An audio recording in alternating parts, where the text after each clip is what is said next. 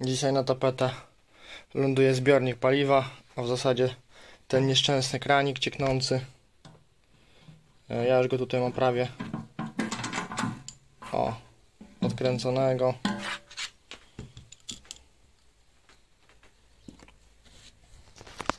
E, Zestaw naprawczy, zobaczymy co on wart.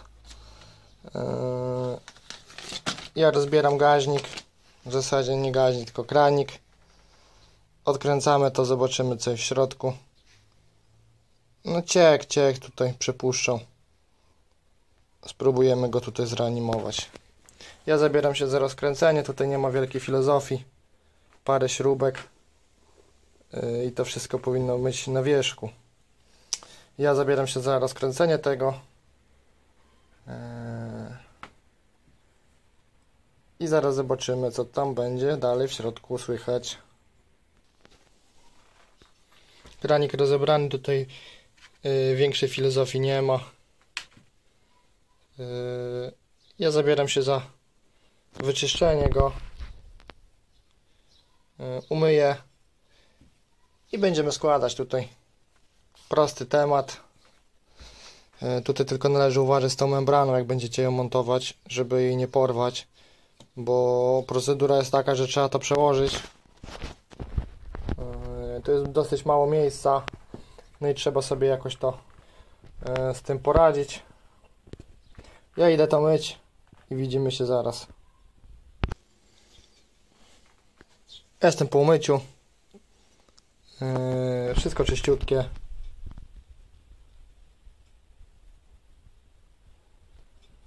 Można zabierać się do montażu. Pierwsze co, to za założymy tą membranę. Ja ją mam tutaj rozpakowaną, tak to wygląda. Jest trochę talku zabezpieczającego gumę. Yy, przełożę to delikatnie, starając się tego nie rozerwać. Yy, I w zasadzie to by było z kranika tyle, tu nie ma zbytnio co pokazywać. Tu przychodzi yy, na spód taka uszczelka, później idzie taki o-ring,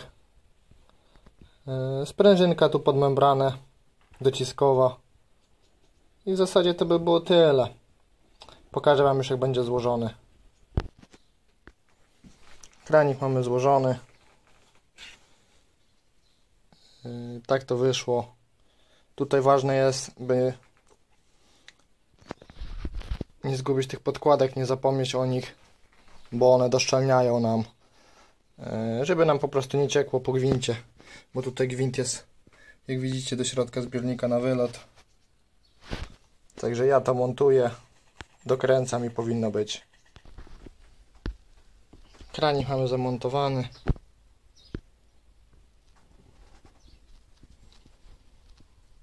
Tutaj dałem nierdzewne śruby, bo tamte były wyrobione, także zbiornik by był ogarnięty. Teraz weźmiemy się za kierunkowskazy. Tutaj klient kupił yy, bo te LEDy to się nie nadają do niczego. Nie rozumiem czemu ludzie to zakładają, no ale mimo wszystko my to wymienimy. Takie tradycyjne zwykła żaróweczka.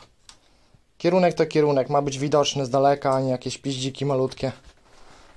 Bezpieczeństwo to przede wszystkim.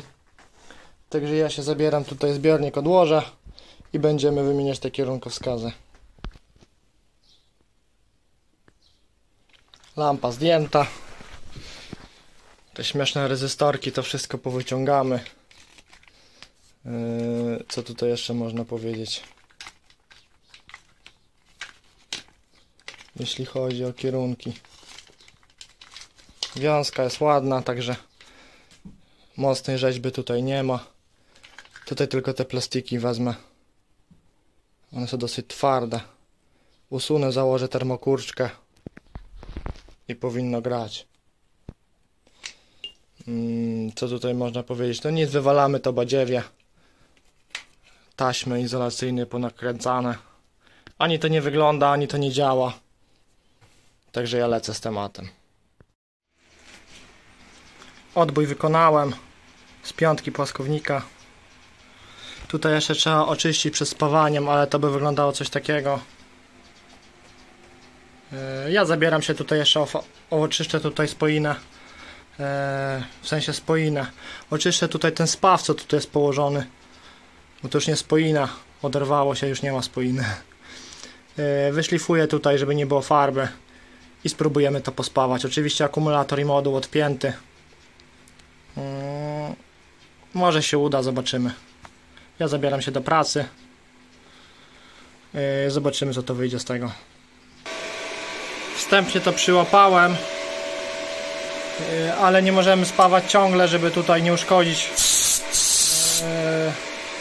ani łożysk, ani żeby smar nam nie wyleciał. Ustawiłem to mniej więcej w osi. Yy, Jak widzicie, można to dotknąć. Nie jest to gorące. Na tyle, żeby nam uszkodziło łożysko, ale nie możemy tutaj lecieć yy, i grzać nie wiadomo jak. Yy, Ja to tak wstępnie złapałem. Widzicie, to jest normalnie, można ręko trzymać. Musi teraz ostygnąć po prawie. Spróbujemy tutaj od dołu. Jest jeszcze miejsce, żebym wszedł elektrodą. Złapiemy od dołu i powinno być. Może tutaj jeszcze boki przyłapię. Ja działam. Odbój pospawany. Yy, Od spodu też jest zalane. Myślę, że nic tutaj lepszego nie zrobimy. Yy, Lepiej jest niż było na pewno. Yy, Oczywiście to chłodziłem, żeby tutaj s- wpływ ciepła ograniczyć jak najmniej. Ale odbój działa. Ładnie to dolega. Jeszcze tylko zostanie to pomalować na czarno.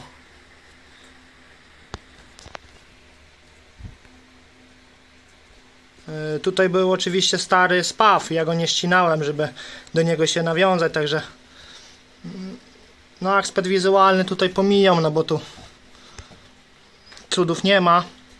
No ale powinno, powinno na pewno być lepiej niż było. Bez. Ja zabieram się za lampę. Skręcę to wszystko i powinno grać.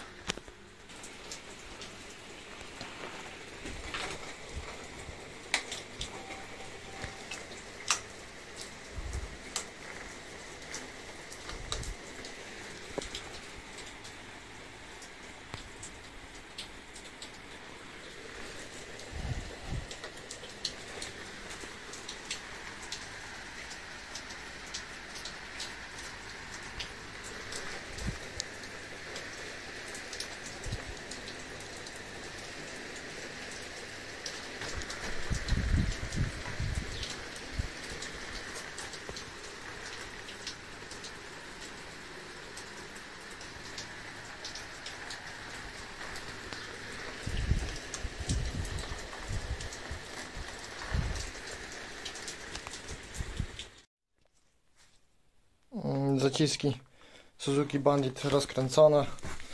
Tutaj musimy tłoczki pomyć. Yy, Zaciski pomyć. Ja biorę się za wyczyszczenie tutaj tych ślizgów. Yy, One są akurat z kwasu wykonane, trzeba będzie dobrze doczyścić. Prowadnicę pomyć. Yy, Gumki od prowadnic również. Nałożymy świeży smar. Pójdą nowe klocki. Także ja biorę się za czyszczenie i zobaczymy dalej co to będzie z tego.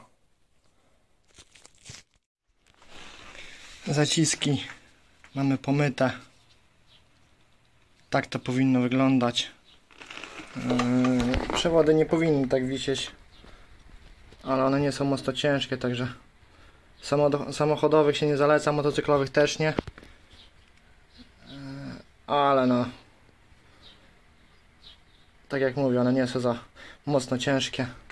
Cylinderki tutaj pomyte w miarę możliwości oczywiście.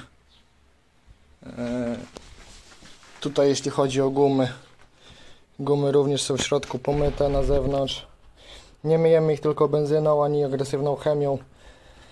E, Z tego względu, że ta guma nie jest nadodporna, może się zmiękczyć, jak to się mówi, może się rozliść. Yy, blachy pomyte, ślizgi pomyte, prowadnice czyściutkie. Ja zabieram się za montaż klocków. Yy, nasmarujemy tutaj gumeczki. Mam taką specjalną pastę. To jest do prowadnic. To jest do gumek. Yy, Fajna sprawa, bo to nie reaguje z płynem. Yy, Co tu jeszcze można powiedzieć? No nic, ja w zasadzie biorę się za montaż. Pokażę Wam jak to siedzi na bieżąco. Yy, Montujemy najpierw te blachy, na których opierają się klocki.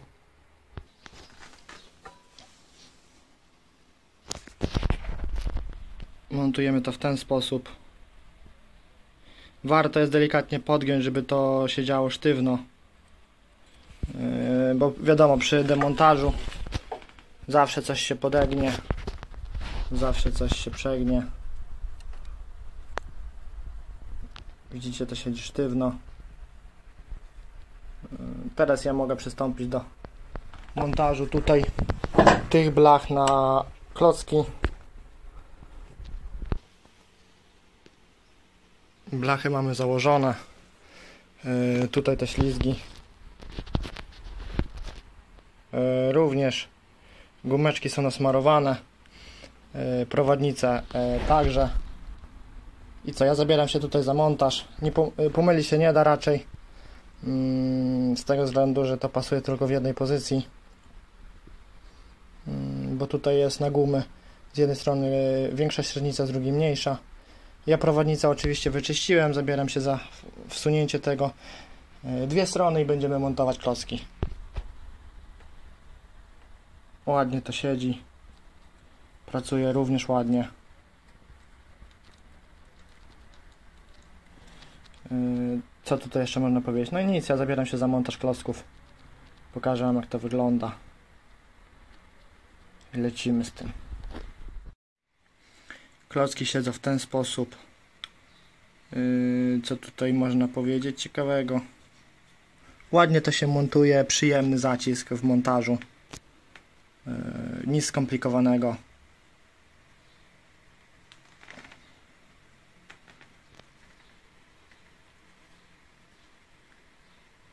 Także ja się biorę analogicznie za lewy zacisk i będziemy to skręcać. Zaciski siedzą na swoim miejscu. Yy, Zarówno prawy, jak i lewy. Mamy do kręcenia tych śrub. To jest 39 Nm.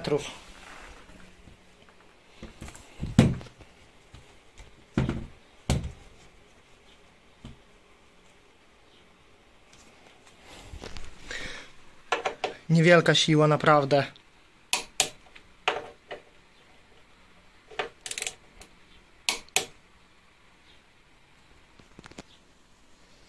Prawa strona.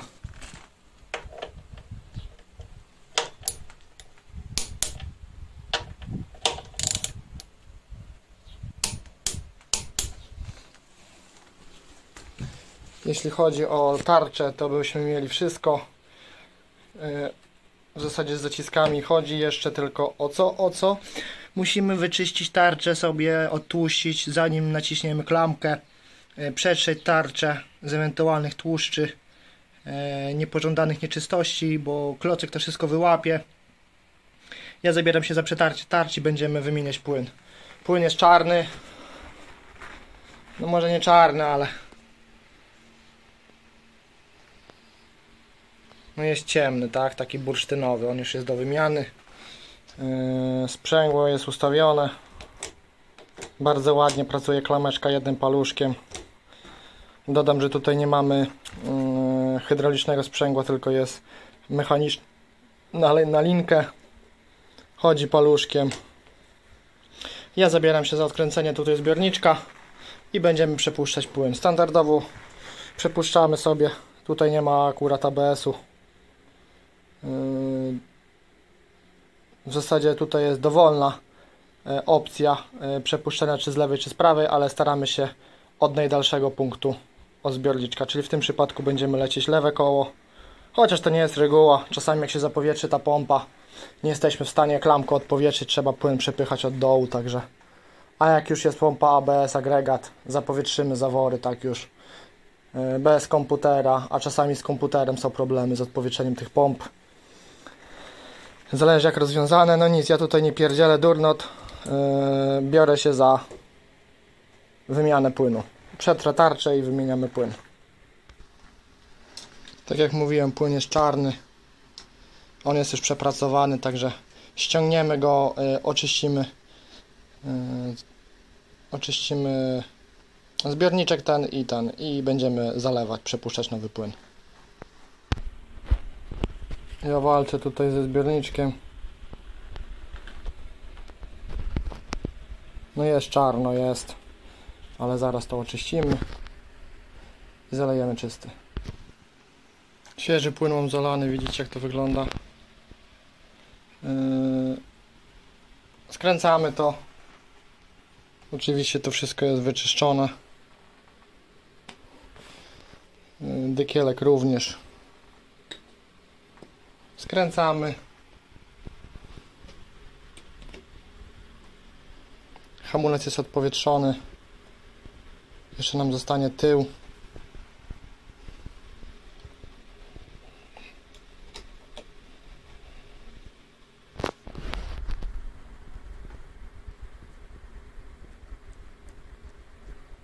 Nie dokręcamy tego mocno, bo później są problemy.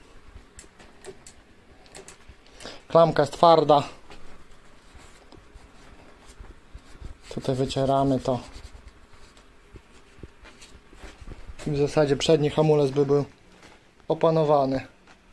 Ja zabieram się teraz za pokrywę zaworów. Skręcamy to i zobaczymy jak to będzie pracowało. Napinacz y, mamy założony. Dokręcone to wszystko z odpowiednim momentem. Co można powiedzieć o pokrywie? Pokrywa już jest przygotowana do montażu. Tutaj zostały naniesione na rogach uszczelki. Y, Naniesiona została masa.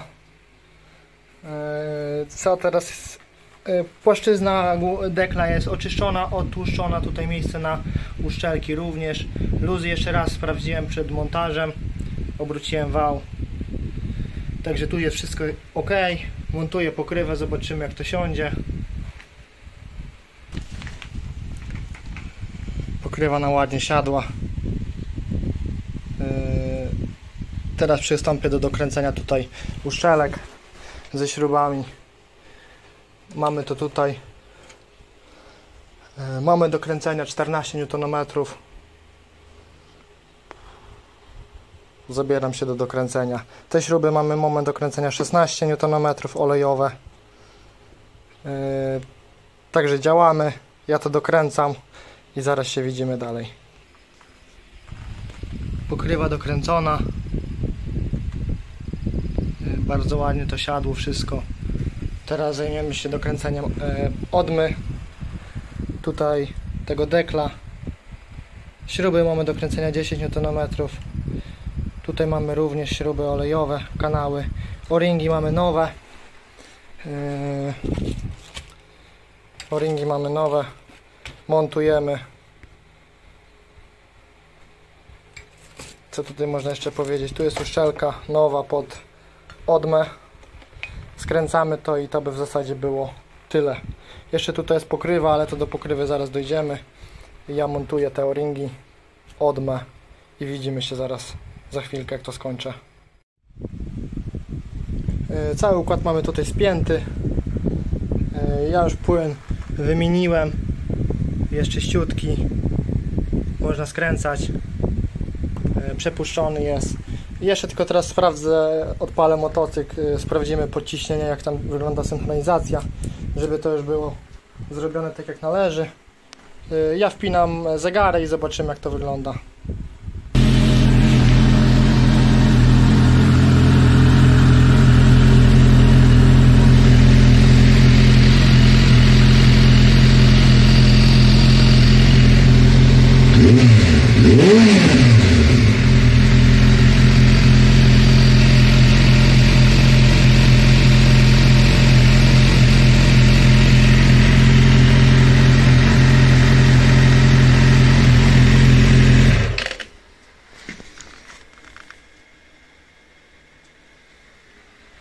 Myślę, że jest super. Eee...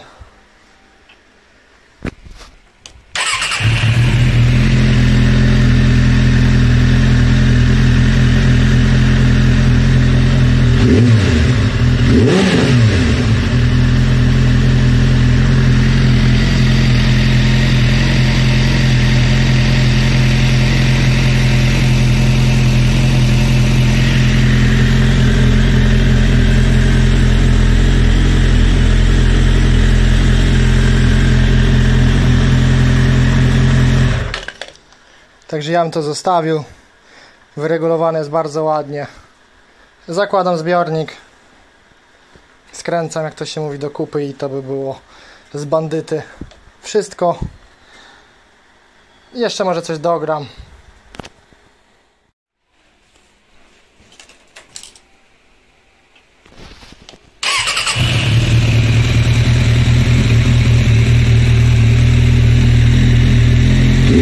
Hum.